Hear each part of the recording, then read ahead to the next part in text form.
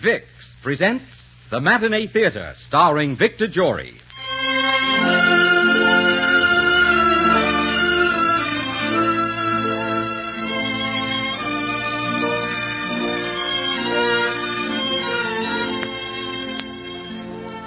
Vicks, the makers of Vicks VapoRub, Vicks Vatronol, Vicks Cough Drops, and Vicks Inhaler, brings you the Matinee Theater in a most unusual presentation entitled Beautiful Dreamer, starring Victor Jory in the role of Stephen Collins Foster.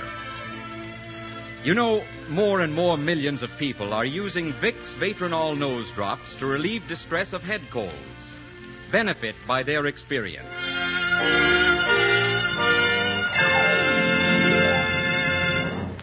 The curtain rises on Act One of Beautiful Dreamer.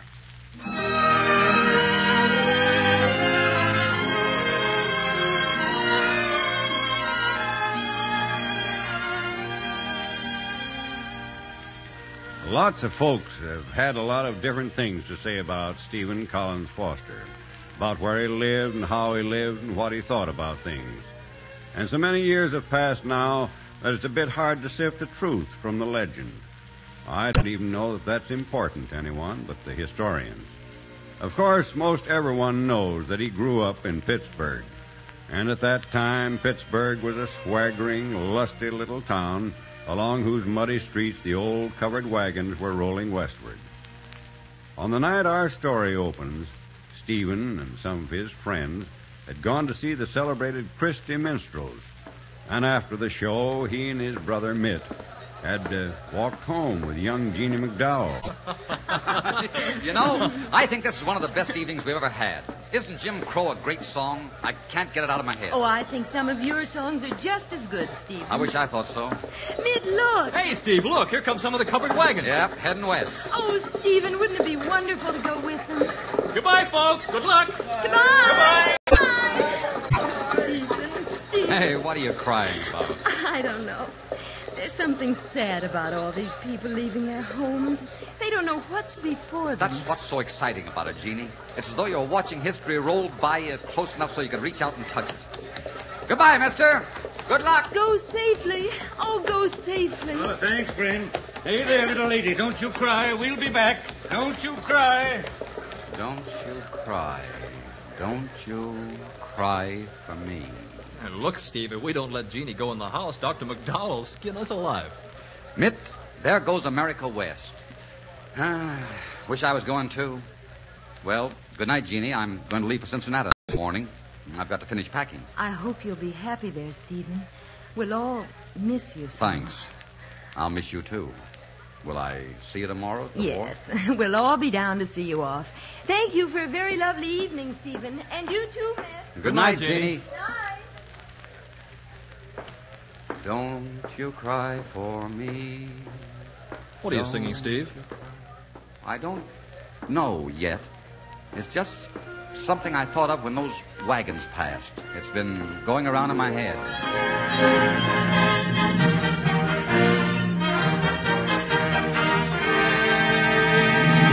Mitt! Mitt! Mitt, wake up! wake up! Uh, what, what, what is it, Stephen? What do you want? What time is it? About three in the morning, I guess. Oh. Listen, Mitt, I just wrote a song. I want you to listen to it. Oh, good gosh. Can't it wait till morning? No, sir, you're going to hear it right now. One of these days, you'll want to say I was the first person in the world to hear old Susanna, and I heard it at three o'clock in the morning. I'd be just as happy to say I heard it at 10 in the morning, but go ahead. It rained all day the night I left. The weather it was dry. The sun so hot I froze to death. Susanna, don't you cry.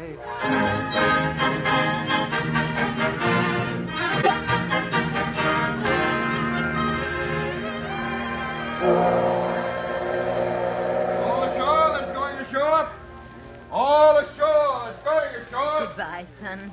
Don't forget your umbrella when it's raining. All right, Mom. Goodbye, Father. Bye, Stephen. Do a good job, son. Well, I'll do my best. Goodbye, Stephen. I think Oh Susanna's a wonderful song. Did you know that Mitt came around and taught us the words this morning? No. Oh, good, Mitt. well, goodbye, everybody. See you soon. Goodbye, Stephen. Come on, everybody. Sing it for him now. Oh, Susanna, oh, don't you cry for me. I come from Alabama with an angel on my knee. Oh, Susanna, don't you young man. Those friends gave you quite a send-off. They're certainly noisy enough. What's that blame thing they're singing? It's a song called Oh Susanna. Do you like it? No, I never heard it before. Who wrote it? Um, uh, someone named Stephen Collins Foster, I believe. Stephen Collins Foster, Mhm. eh? Never heard of him. Well, he'll have to do better than that if he ever expects to get any place. You're wrong. He's on his way someplace right now. He's on his way to the top of the world. Not with that trash he isn't. No? Well, just wait and see, mister. Just you wait and see.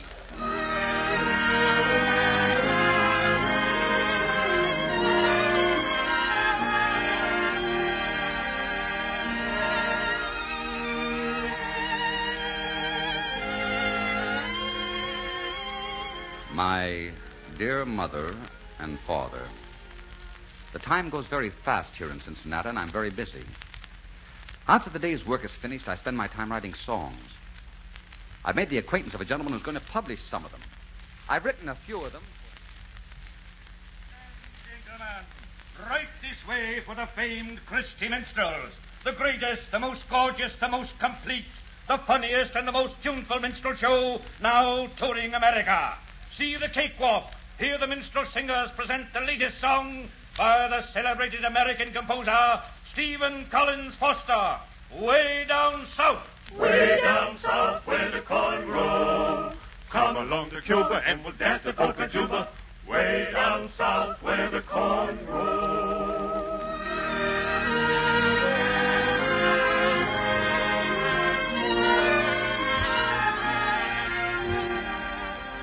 Dear Mitt, it seems such a long time since I've seen any of you. I like it here, but I think I'll be coming home soon. One day last month, I crossed the river to visit our cousin at Federal Hill. that house in Kentucky is something I'll never forget. I fell asleep listening to the voices that drifted up from the Negro quarters. I think I must put it all into a song. My old Kentucky home.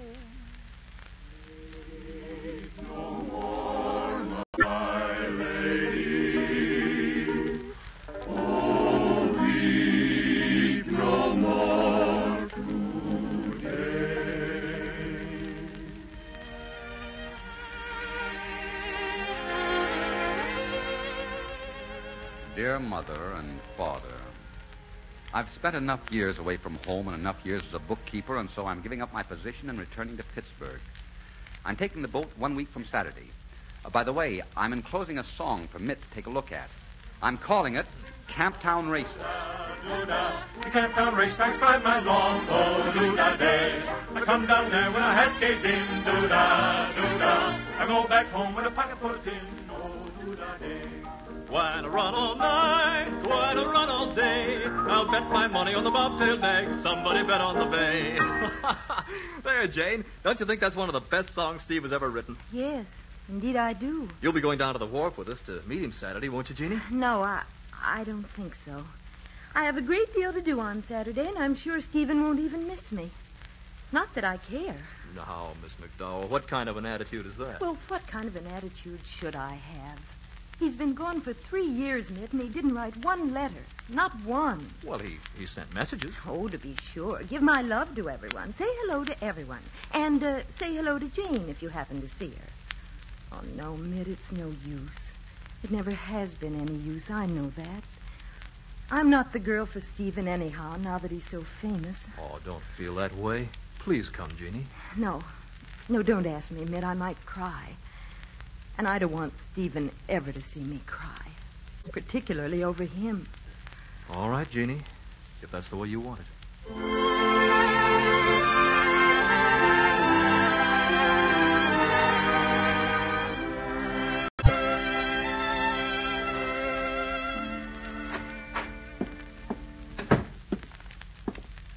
Sleep, Stephen? Uh, no, just thinking. Why wasn't Jeannie at the boat? She was, uh, busy, I guess. Oh, I see. Jeannie's very popular, you know. Huh? I don't think there's a fellow in town that wouldn't give her his right arm if she wanted it. That's so? Stephen, have you ever really looked at Jeannie? well, I, I haven't had much chance in the last three years. But I've got a pretty good idea what she looks like. Yeah? What color are her eyes? Brown. Uh, uh, blue. Uh, uh, green? They're gray. Oh, gray. Well, I knew there was something like that. So Jeannie's the town belle, huh? And she didn't have time to come down to the boat, huh? Throw me my shoes, will you, fella? Oh, sure, but what do you want with your shoes at two in the morning? I'm going to pay a call. Toss me my trousers. She didn't have time to come down to the boat, huh? You can't call on a girl at two in the morning. Can't I? Well, just watch me. Watch me.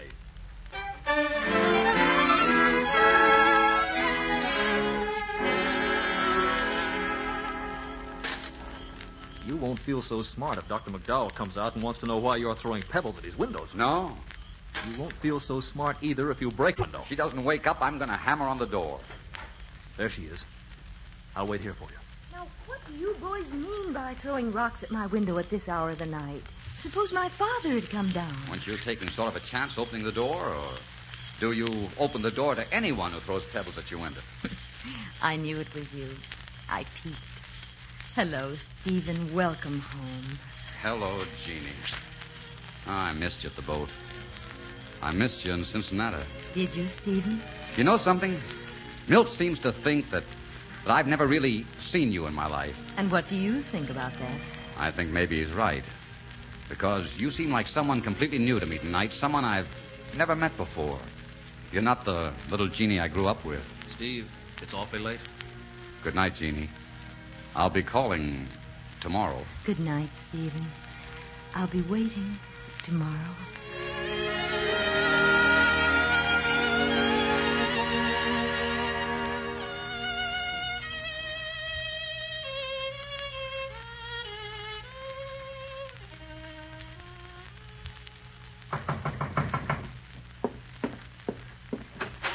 Uh, hello, Jeannie. Hello, Stephen. Come in. Uh, thank you.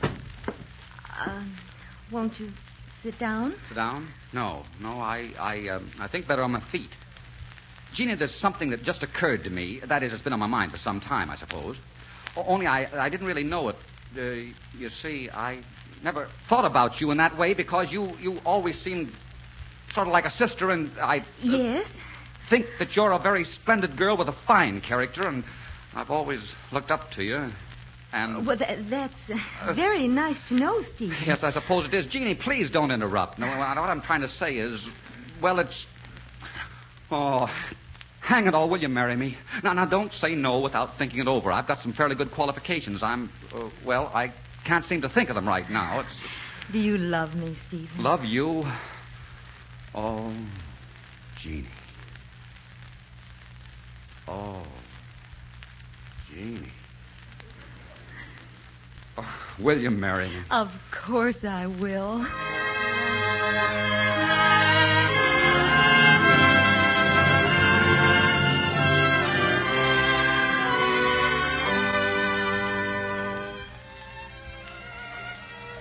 Mrs. Foster, you're looking very beautiful out here in the moonlight. Oh, Stephen, I'm so happy. Are you? This is the most wonderful wedding trip that anyone ever had.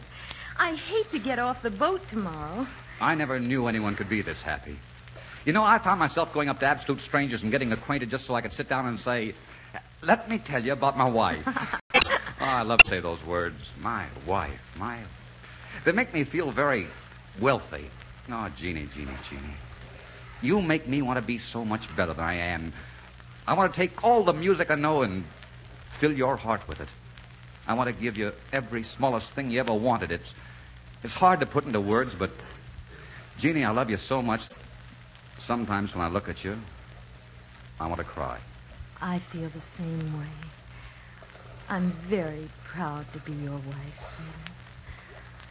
Oh, darling, I don't want to get off the boat tomorrow. But, darling, tomorrow will be such a wonderful day. We're going to the Mardi Gras in New Orleans. We're going to dance and sing, drink champagne, and I'll whirl you around and around until you can't catch your breath, and around and around and around.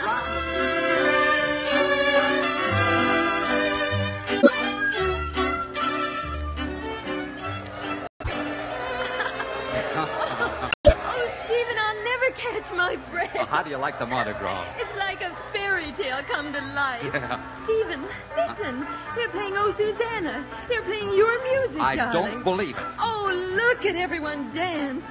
Darling, aren't you proud? Well, well, if it isn't my young friend of the boat. Uh, good evening, sir. We rode from Pittsburgh to Cincinnati together, remember? Yes, very well. Uh, this is my wife, sir. How do, ma'am? How do you do? Say, isn't the orchestra playing that same song your friends were singing on the wharf that day? Yes, they are. Well, what do you think about Stephen Collins Foster and his music now? I still think it's terrible. And I still say Stephen Collins Foster isn't going anyplace. Well, nice to have seen you again. Goodbye. Oh, Stephen, who was that horrible man? Just someone I met on the boat. I never knew his name, and he never knew mine. Now, don't look like that, darling. Don't you know that people like that are put in the world so that Stephen Collins Fosters will work harder? You know what we're going to do tomorrow? What? We're going home. And then we're going to New York, and I'm going to work and work and work. I'm going to put all the things I feel inside me into music. The music that comes surging out of a man's soul when he looks around him and says, This is my country. This is my home. The bright, lusty music of Americans laughing. The strong, bitter tears of Americans pausing to bury the dead. And the tenderness of American men for one woman.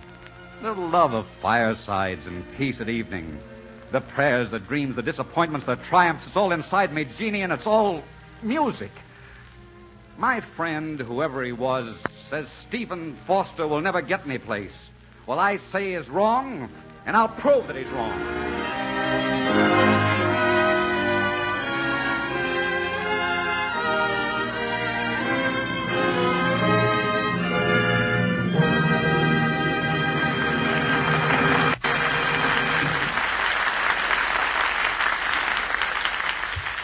Just a moment, the second act of Beautiful Dreamer, starring Victor Jory and featuring Betty Winkler. Friends, you probably know from experience how exasperating it is when your nose stops up at night from transient congestion or a cold in the head and makes breathing so difficult it's hard to get to sleep. Now, the next time you're bothered this way, put a few drops of Vicks Vatronol in each nostril and feel it go right to work to open up the stuffy nasal passages in a hurry and make breathing easier. You'll marvel at how quickly it invites restful sleep by helping you breathe comfortably again. Vatronol is a specialized medication that brings grand relief anytime, day or night, from sniffles, sneezes, and stuffiness caused by head colds. So it's wise to keep a bottle always on hand, ready to use immediately when needed. Try Vatronol, friends. You'll like the way it works. Just follow the simple directions in the package. Vicks Vatronol Nose Drops. The curtain rises on Act Two of Beautiful Dreamer, starring Victor Jory as Stephen Collins Foster.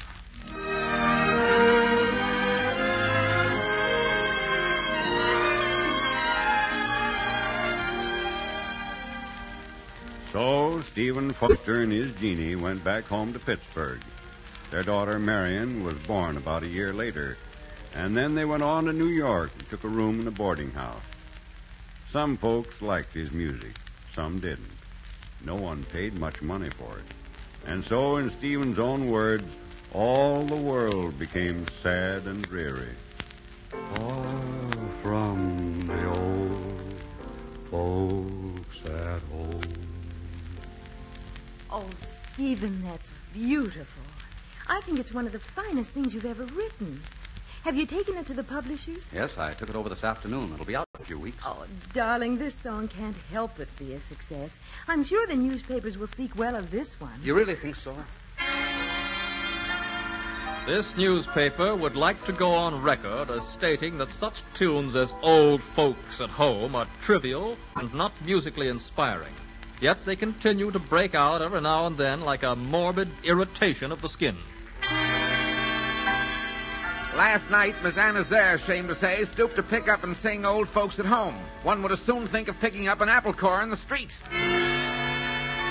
Old Folks at Home is as trashy as most of the other compositions of Stephen Collins Foster.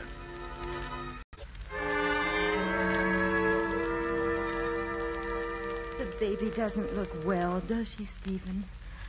I wonder if she's getting the proper nourishment. I'm afraid she isn't. Let me let me hold her a while, Jeannie. All right.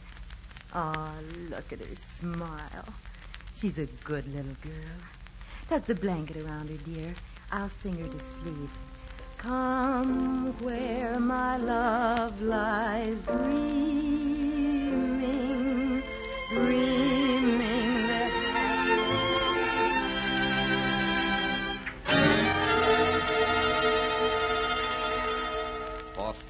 Music is completely without merit.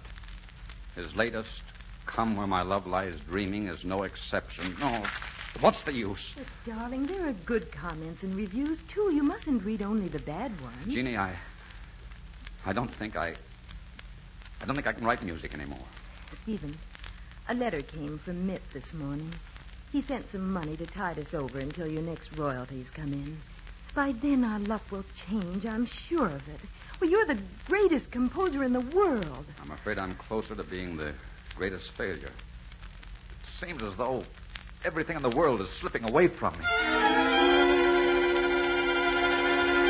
I don't like to ask Mr. Lamb, but but I wonder if I could possibly get an advance on next royalty. My my family's not been very well. Uh, Mr. Foster, I'm sorry to have to refuse you, but that is impossible. You've already borrowed on your next royalties. We couldn't possibly advance you any more money. But I've got to have it, Mr. I... Look, I- I'll sell you all the future rights to any of my songs that you've already published for two hundred dollars. Huh? All right, Mr. Foster. I, I'll have a check drawn at once.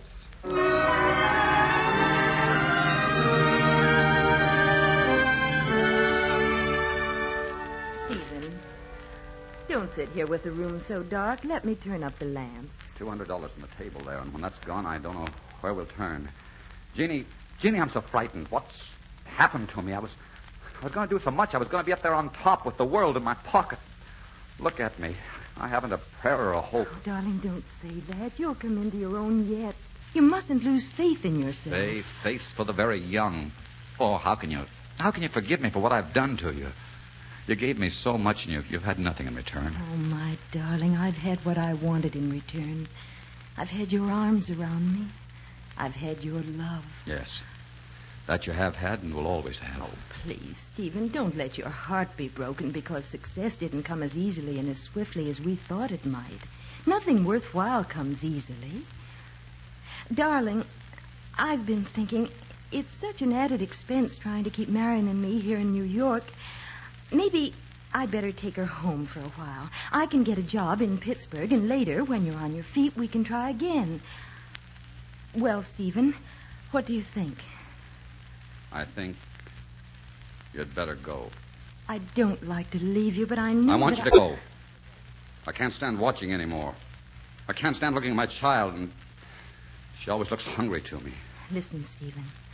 I love you more than anything or anyone in the world. Please believe that. Don't, Jane. I don't want any soft words. I don't want any pity. Just please go. All right. Marion and I'll be waiting in Pittsburgh. We'll all be together soon, I'm sure. I'm afraid that's a dream, Jeannie. Just a beautiful dream.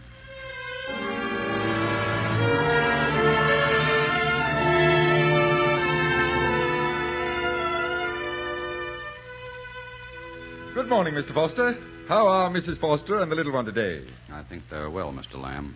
They've returned to Pittsburgh for a time. Oh, well, they'll be back soon, won't they? I don't think so. Look, I brought you a song. I want you to tell me quite frankly whether you think it has any merit, and of course whether you want to publish it. Beautiful Dreamer, eh? Nice title.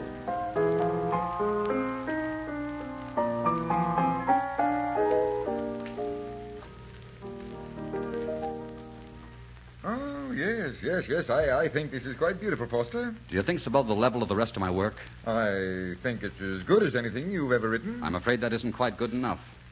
I'm afraid it has to be better than anything I've ever done to be good enough. Well, all I can tell you, Mr. Foster, is that uh, I think it has merit and that we'll be happy to publish it. Thank you. Thank you very much.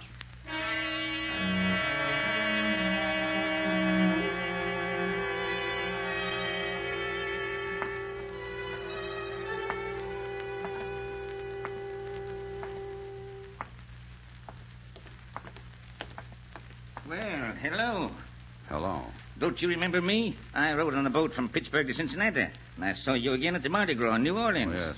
Of course, I remember. You're the young man that was such a booster for Stephen Collins Foster.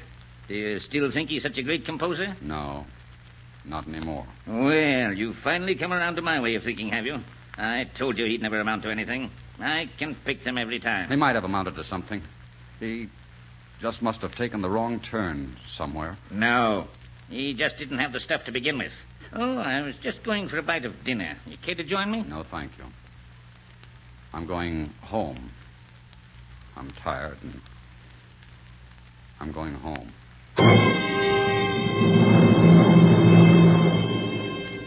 Uh, Matthew, look here in the paper. It says Stephen Collins Foster died today in the paupers ward at Bellevue Hospital. He had 38 cents to his name. Huh. What have I always said? I said Stephen Collins Foster would never amount to anything. I said nothing good would ever come of him. I can pick them every time. Yeah, a lot of folks that said he'd never amount to anything said, I told you so, when he died. And a lot of folks that had liked him felt a great loss. But a heap of folks that never knew him at all and never would went right on singing his music. The covered wagons rolled westward to the tune of his music. The colored folks sang it, and the white folks sang it on southern verandas and in northern parlors.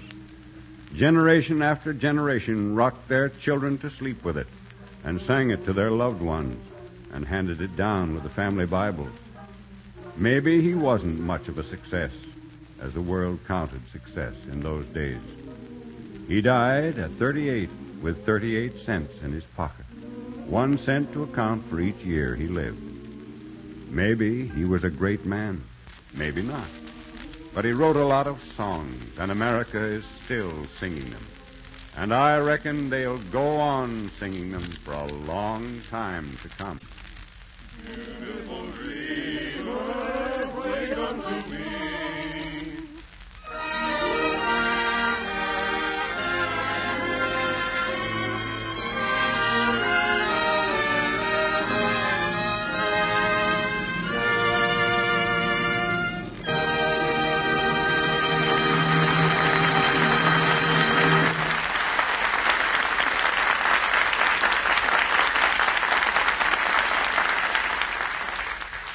Just a moment, a word from Victor Jory. These midwinter days, you can never tell when you'll suddenly catch cold. That usually means sniffles, sneezing, your head all stuffed up. Now, you really should do something about those head cold discomforts. A neglected head cold can make you feel pretty miserable. And one of the best things you can do, and the sooner the better, is to put a little Vicks Vatronol in each nostril. It's remarkable how a few drops of this specialized medication bring relief in short order.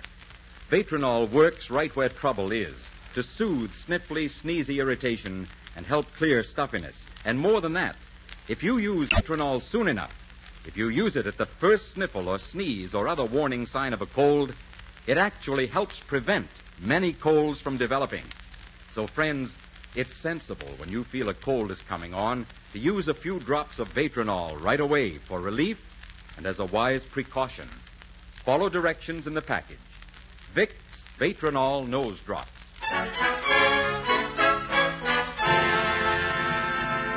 This is Victor Jory.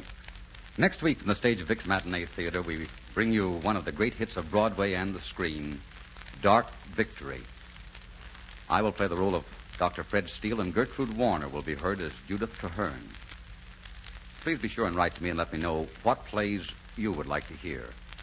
Address me Victor Jory, care of Columbia Broadcasting, New York 22, New York.